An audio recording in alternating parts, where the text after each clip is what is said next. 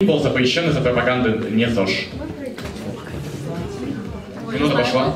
30 человек собралось в молодежном центре, чтобы проверить свои знания по самым разным темам.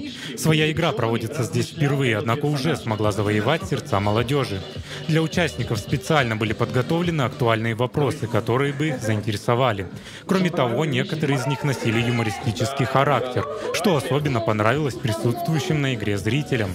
Было разделение очень хорошее, а, бредовые законы, прям вообще все смеялись просто до слез. Ребята собрали разные законы с разных стран, прям полнейший бред, ну типа наподобие того, что кого нельзя мыть в ванной в Австралии, вот наподобие такого. Организаторы адаптации знаменитой телевизионной игры «Викторины» рассказывают, чтобы организовать для участников такой веселый и полезный досуг, необходимо хорошо потрудиться. В плане подготовки очень много времени занимает именно подготовка вопросов. Чтобы вот проводить данное мероприятие каждый месяц, мы работаем прям плотненько командой, мы к этому мероприятию мы готовимся уже более двух недель. То есть каждый день мы исправно сидим по 2-3 по часа, составляем правильно вопросы, также идет у нас подготовка листов регистрации, как это мероприятие будет проходить, концепция, подготовка работа с ведущими и так далее.